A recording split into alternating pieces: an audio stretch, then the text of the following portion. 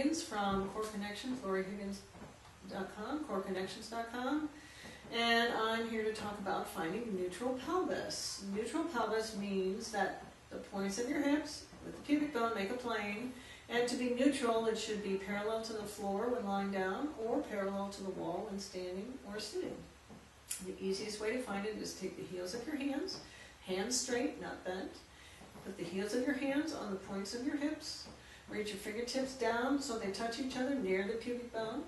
Then take a peek and see if your pelvis is fairly flat. If it is, you're in neutral pelvis.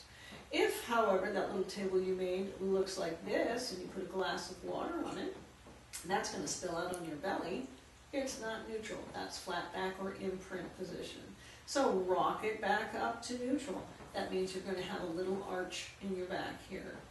Maybe room for your fingers, maybe room for your whole hand. It's going to depend on a couple of things.